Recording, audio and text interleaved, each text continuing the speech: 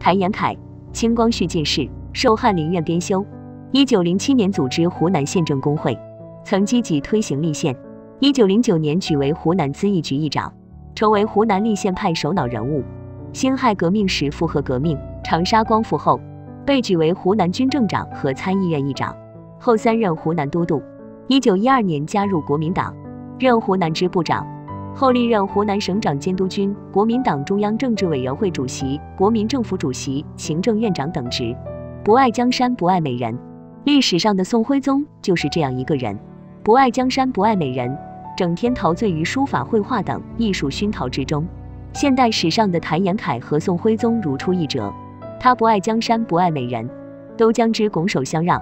谭延闿拒娶当时貌美如花、财力雄厚的宋美龄，还将宋美龄介绍给了蒋介石。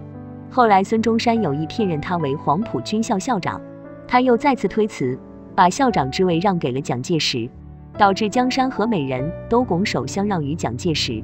谭延闿，湖南茶陵县人。一八八零年一月二十五日生，谭延闿这个人很是奇特，父亲是清末的重要官员，家底殷实，谭延闿也算是旷世奇才了。他从小就聪明好学，与当时的陈三立、谭嗣同并称为湖湘三公。古代读书人最后的归宿就是科举，谭延闿也不例外。他通过科举成为了清王朝的最后一位状元，只不过当时慈禧忌惮他背后的谭氏家族。怕谭氏家族再次壮大，以威胁自己的统治，于是就悄无声息地把谭延闿第一的身份换掉了。谭延闿知道之后也没有生气，他反而乐得清闲，只是对清王朝腐朽的统治越发失望了。一九一一年，清王朝日落西山，孙中山发动辛亥革命，直接导致清王朝覆灭。一九一二年，谭延闿结识了孙中山，孙中山在与他谈话期间。发现谭延闿虽然是清朝的官宦之家出身，但是浑身上下一点都没有官僚作风与官僚习气，不和普通的读书人一样死气沉沉。谭延闿还懂得用西方理论来解释当代时局变化，这是孙中山很欣赏的地方。谭延闿本人也很欣赏孙中山，一是两个人都很仇视清朝腐朽的统治，都为民担忧；二是孙中山去过日本留学，经历丰富。自己能听到不少新鲜事。三是孙中山是一个很有勇气、很有谋略的人，敢于反抗，做了自己不敢做的事。二人话很投机，颇有相见恨晚之意。于是谭延闿就投入了孙中山门下，成为了孙中山忠实的小跟班，是革命派的重要领导力量。加入孙中山麾下后的谭延闿，也实现了身份的转变，即从保皇派转变为了革命派。可谭延闿这个人并不擅长带兵打仗，他更多的是靠脑子，于是就成为了孙中山的智囊团。尤其是孙中山在制定中华民国临时约法时，少不了谭延闿的参与。不仅如此，在孙中山没有军费支撑军团开支时，谭延闿就为孙中山典当了自己的所有家当，为孙中山提供足够的财力支持，好让孙中山没有后顾之忧。不得不说。谭延闿与孙中山的革命情谊很是深厚。谭延闿这个旷世奇才，不管是在智力上，还是在财力上，都为孙中山顺利进行革命事业做出了强有力的支撑。不爱美人，谭延闿加入革命派后，孙中山对谭延闿很是关心，也很了解他的为人。又得知谭延闿妻子去世，就想将自己的妻妹宋美龄许配给谭延闿，但是这个提议却被谭延闿义正言辞地拒绝了。这可并不是因为宋美龄不漂亮、没有才华。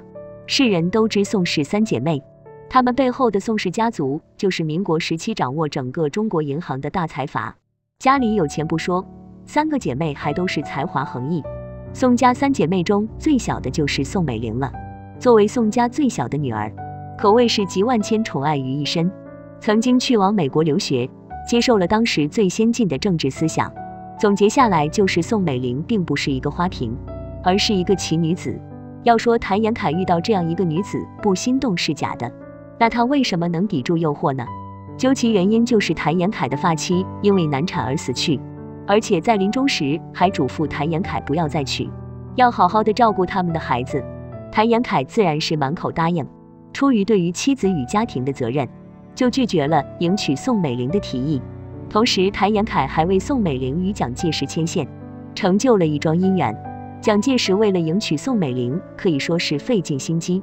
为了宋美龄改变自己的宗教信仰，一是真的仰慕宋美龄，二是认为宋美龄背后的宋氏家族会为自己提供财力与政治支持。谭延闿也深知这一点，他就顺水推舟，向孙中山提议蒋介石可以迎娶宋美龄小姐。后来在谭延闿的牵线下，果真宋美龄与蒋介石结为了夫妻。谭延闿就这样将美人让给了蒋介石。不爱江山。一九二四年，孙中山有意建设一所专门培养军官的专业学校，就是为自己的革命培养精英人才、政治骨干。因为孙中山自身要忙着搞革命，那这件事情交给谁做呢？孙中山第一个想到的人就是智囊团的谭延闿。他知道谭延闿是一个对工作很负责的人，同时对于教育方面比较精通，于是就想让谭延闿来做这个学校的校长。谭延闿听到孙中山的决定后，连忙推辞说：“这可是军事学校，我一介儒生怎能担此大任？”在谭延闿的百般推脱之中，这件事也就不了了之。但是谭延闿为了不驳孙中山的面子，就为这所学校起了名字，名为中国国民党陆军军官学校，就连学校门口的字都是他提的。这所学校也就是人们今天熟知的黄埔军校。听闻这件事情的蒋介石很是气愤。他内心十分渴望坐上黄埔军校的校长之位，这可是巩固自己权力的最佳时机啊！看出蒋介石心思的谭延闿就推了蒋介石一把。谭延闿向孙中山举荐，由蒋介石来担任这个校长。蒋介石有过实战经验，训练新兵必然比自己要强。孙中山当时也与蒋介石关系要好，就采纳了谭延闿的提议。蒋介石在谭延闿的推荐下，就顺理成章地坐上了校长之位。谭延闿也把自己的江山让给了蒋介石。